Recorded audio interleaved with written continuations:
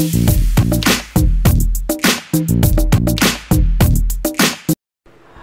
friends, this is Amar from TechPandit007 and in this video I am going to talk about how to transfer contacts from Windows phone to Android phone. So let's start. On your Windows phone, swipe left and tap on settings and then tap on email and accounts then tap and hold Microsoft account and then tap sync in pop-up window. After this we will move to PC and open the browser. First we will open Google page and in the search bar we will write outlook.com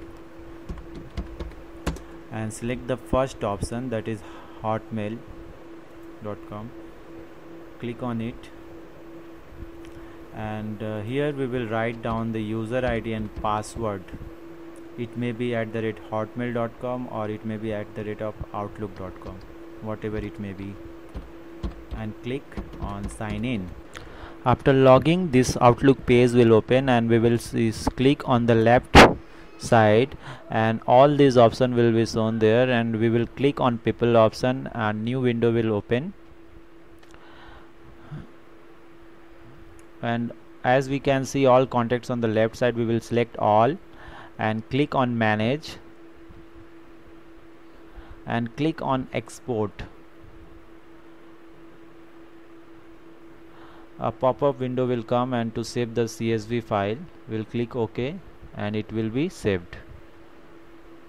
Now we will open the Google page. On the right side click on the Gmail and we will put the user ID and click on next and enter the password and click sign in. New windows will open and here under the gmail option there is one option called contacts. We'll click on it. A new windows will open. Here a drop down option more is available where we'll click and click on import.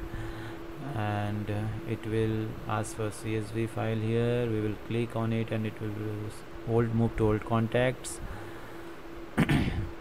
and now we will click on the more option here again the import option we will click here.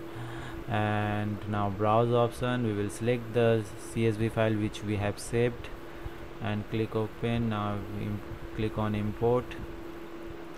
And all the contacts will be synchronized here.